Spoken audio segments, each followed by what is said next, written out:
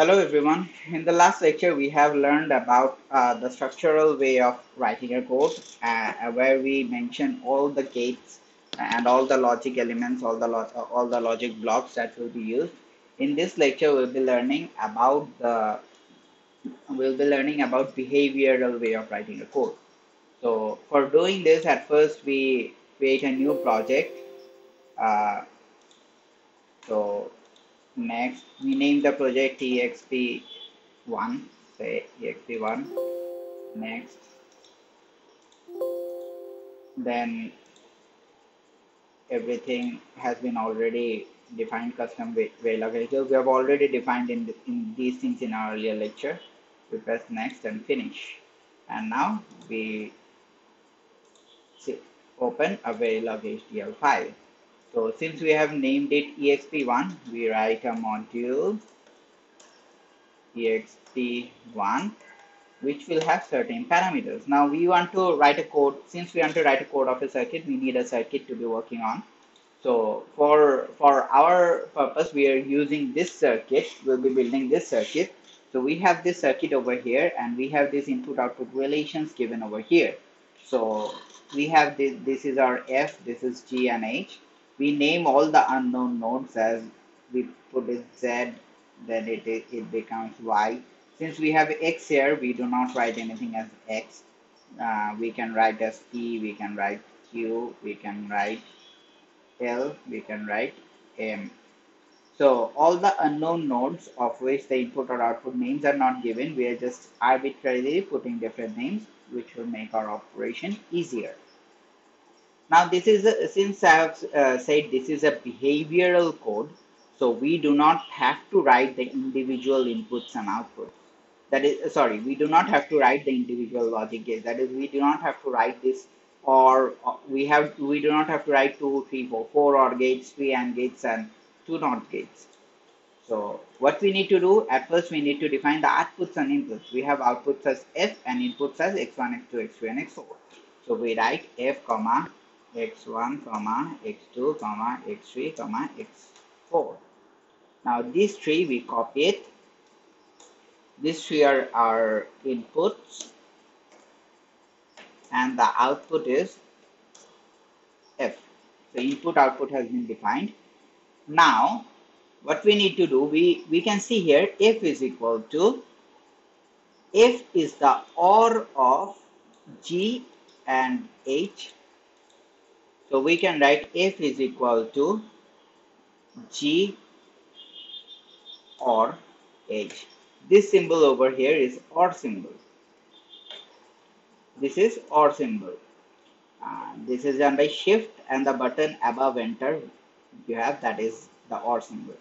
Now since with our input is x1, x2, x3 and x4 and output is f, the system does not recognize uh, what is G and what is H. So we can see that G is again the OR function of Z and Y. So from G we can write G is, is capital Z or capital Y. Again we can see that our system only recognizes F, X1, X2, X3 and X4. So it does not recognize what is Z. It does not recognize what is Y. So we can see that z is the AND function of x1 and x3. So we can replace our z by x1 and x3. Again, y is the AND function of x2 and x4. So we can replace y as x2 and x4. Sorry.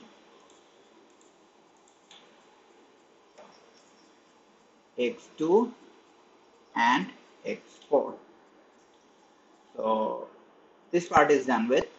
Now again we have this this x1 x2 x3 x4 all these things are recognized by the code because the code recognizes only these things. Now we move to here. We do not know what h is but h is the and function of p and q. So we can replace h by uh, p and q.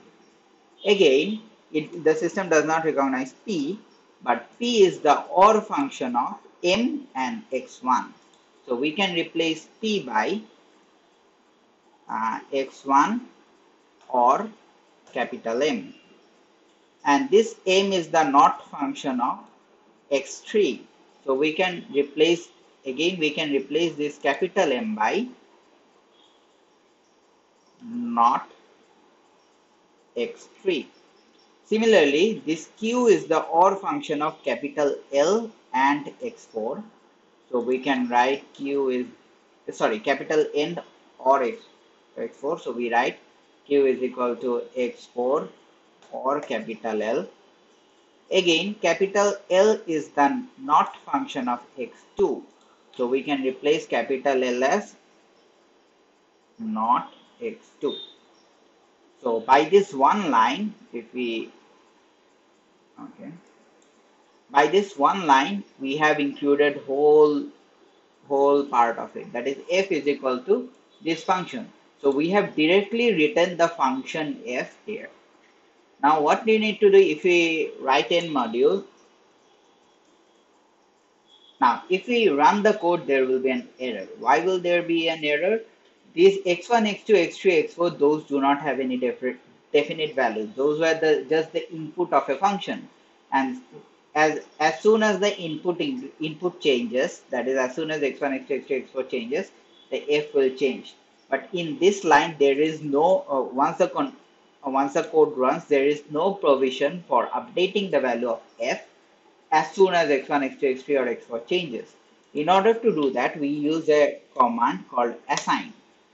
The command assign f is equal to means whatever is there in the right of equal sign, if anything in the right of equal sign changes, the value of the f will be will be updated accordingly. If nothing changes in the right side, the f will retain its original value. If anything in the right side changes, the f will update its value instantaneously. The, that is, this assign thing has a maximum priority. It will not wait for anything. It will not look for any logic or anything as soon as any of the variable in the right side of the equal sign changes, the, uh, the value of a sign, uh, that is the value of this function will be updated accordingly. Now this is our code. I hope it is it is really straightforward and should be understandable. This code is also given in your lab sheet. We save this code, exp1. After saving this code, we uh, run this code, start compilation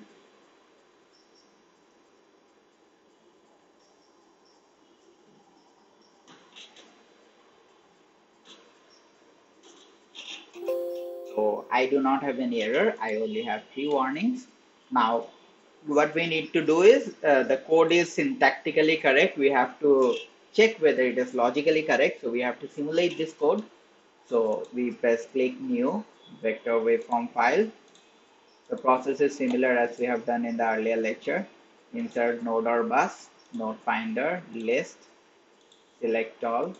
Okay, okay. Now before we move on and define our input x1, x2, x3 and x4, let us see how these are defined in our problem statement. Our x1 is 0, 1, 0, 1, 0, 1. It changes very rapidly. x2 changes less rapidly than x1. x3 changes less rapidly than x2. And x4 changes less rapidly than x3. So, if we say that the time period of x1 is 10 nanosecond, it is very obvious that time period of x 2 would be 20 nanosecond, x3 would be 40 nanosecond, and x4 would be 80 nanoseconds. So we define those clocks in that way. Insert value clock or control plus alt plus k. If x1 is 10 nanosecond, control alt k, we put x2 is equal to 20, 20 nanoseconds. We put x3 is equal to 40 nanoseconds we put x4 equal to 80 nanoseconds. Okay. Now we can see that the x4 clock, the entirety of it is not seen. It gets it gets truncated here. So what we do is we place control, we press control and scroll our mouse button. So minimize. We can also scroll our mouse, uh, mouse button in the opposite direction to maximize or zoom. So we are zooming out and we can see all of this So we can see we have our condition 0, 0, 0, 0, 0, 0, 0, 1, 0, 0, 1, 0, 0, 0, 1, 1, 0, 1, 0, 0, 0, 1, 0, 1, 0, 1, 1, 0, 0, 1, 1, 1. Similarly, 1, 0, 0, 0. We have all the 16 combinations here. After we have done that, we save this as exp1 and after say, saving it, we go to assignments, settings. We here we have functional, then processing, generate functional simulation netlist netlist we press ok and after it is done we press simulate. Simulation is done. Now after simulation is done let us check whether our uh, circuit is operating correctly or not. To check that let us see here when the input is 0000 output is 1 when the input is 0001 output is 1 so these first two are working. Then when the input is 0010 output is 0 working. 0011 output is 0 it's still working. Then we have 0100 output is 0 still working. 0101 output is 1 so this is working too. 0110 output is 0 so this is also working. We can see this, this topmost thing is output and the bottom thing is an input.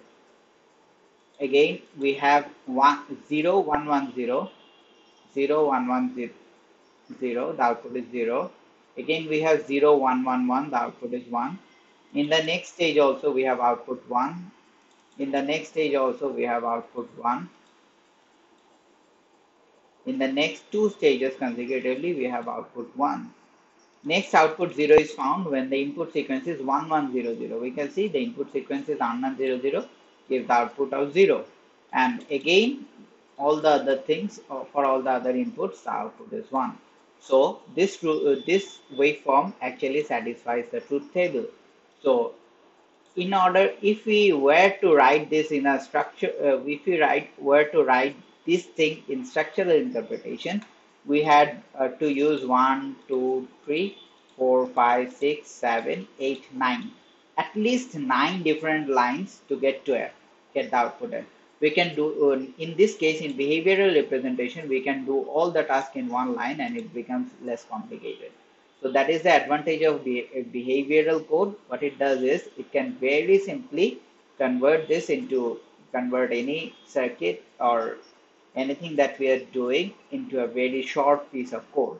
And this piece of code acts in the similar way as that long piece of code. And these both of these formats are workable and these these can be fed in the cadence and the circuits can be built built. Now i have stated it over and over again that the digit that the code that we are using we can directly feed this code to the to cadence and the cadence can develop circuits of this code.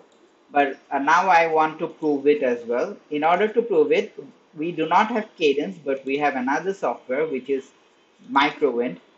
Now, a disadvantage of Microwind is Microwind cannot work with behavioral code. It only works with structural code. So what we do is, uh, we can do is here we place compile, compile Verilog file in the Microwind and we have to choose one file. So we have saved the file in desktop. So we go on desktop. Uh, from desktop we have new folder and uh, structural we have written in uh, all files. Structural we have written in uh, uh, max221.b. Where is that? Max21 dot b. We open this this is our code as we have done. The max to one, the inputs are ABS, the output is there and everything. The code is here. After this code is imported, we select compile here. After compile is uh, compilation is done, here we have no error. We go back to the editor. After going back to the editor, we modify the clock. This clock is uh, we are four times we are assigning it four times lower the time low is 4.375 assign then b is a little faster than uh, than s assign and a is even faster than B. Assign. After we are done with our assignments, we press run. Now, in order to understand whether it works or not, we put the time scale as 15 nanoseconds and we put reset.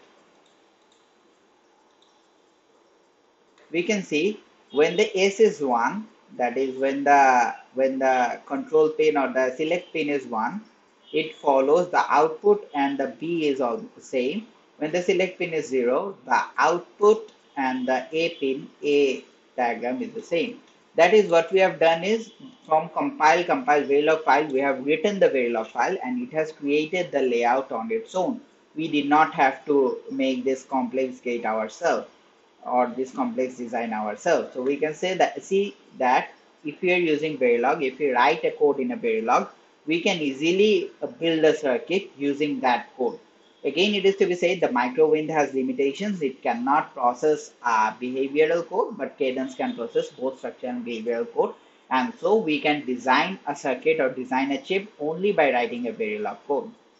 That's all for this, this lecture. In the next lecture, we'll be learning about conditionals in Verilog statement. Thank you so much.